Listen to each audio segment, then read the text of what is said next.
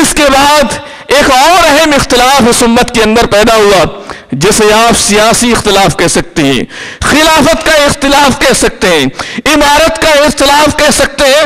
یہ اختلاف ہوا کہ اللہ کے رسول صلی اللہ علیہ وسلم کی وفات کے بعد کس کو مسلمانوں کا خلیفہ منتخب کیا جائے، کس کو امیر مقرر کیا جائے۔ لہذا اس سلسلے میں انصار نے یہ فرمان سنایا منا امیر و منکم امیر کہ ہم میں سے ایک امیر ہونا چاہیے اور تم میں سے ایک امیر ہونا چاہیے۔ گویا مسلمانوں کے دو امام، دو خلیفہ مقرر ہونے چاہیے تاکہ یہ تنازع ختم کیا جا سکے۔ لیکن حضرت ابو بکر صدیق رضی اللہ تعالیٰ عنہ نے اس عظیم سیاسی اختلاف کو اور ان کے جو جانشین تھے، ان کے بعد جو خلیفہ دو میں حضرت عمر فاروق رضی اللہ تعالیٰ عنہ نے حدیث رسول کے ذریعے سے اتنے عظیم سیاسی اختلاف کا خاتمہ کر دیا۔ آج بھی جو سیاسی جماعتیں ہیں، سیاسی دھڑے ہیں، جو سیاست میں مصروف عمل ہیں، ان کے لیے اللہ کے رسول صلی اللہ علیہ وسلم کے اس خلیفہ راشد کا طریقہ اختلاف اور اس کو حل کرنے کا طریقہ، ان کو اگر یہ لوگ اپنا لیں، آج بھی ہمارے سارے سیاسی اختلافات ختم کیے جا سکتے ہیں۔ حضرت ابوبر صدیق رضی اللہ تعالیٰ عنہ نے کہا کہ میں نے اللہ کے رسول کو فرماتے ہوئے سنا ہے۔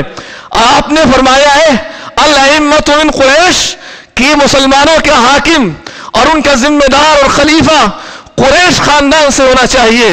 لہذا یہ فیصلہ ہو گیا کہ یہ خلیفہ قریش خاندان سے ہوگا۔ اب اس کے بعد یہ بات رہ جاتی ہے کہ قریش خاندان میں کس کو مقرر کیا جائے؟ ابھی یہ بات طے نہیں ہو سکی ہے۔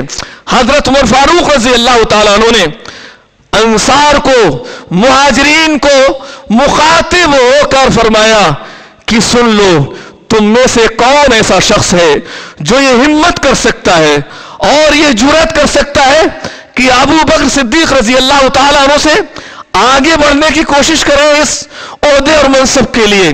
لہذا کیوں؟ اس کی وجہ کیا ہے؟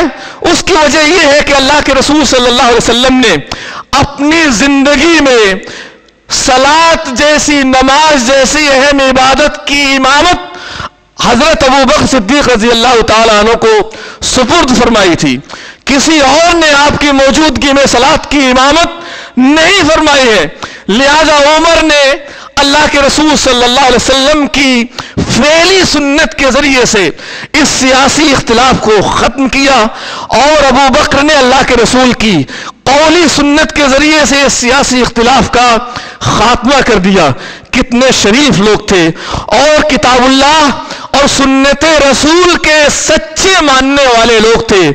کسی نے بھی حدیث رسول سننے کے بعد جرت نہیں کی کہ نہیں ہم اللہ کے رسول صلی اللہ علیہ وسلم کی قولی حدیث نہیں مانتے، آپ کے فعل کو تسلیم نہیں کرتے، سارے لوگوں نے اس فیصلے کو قبول فرمایا اور اس امت کے اندر ایک عظیم اختلاف پیدا ہو سکتا تھا۔ لہذا حدیث رسول کے ذریعے، سنت رسول کے ذریعے سے اختلاف ختم ہو گیا۔ آگے چلتے ہیں۔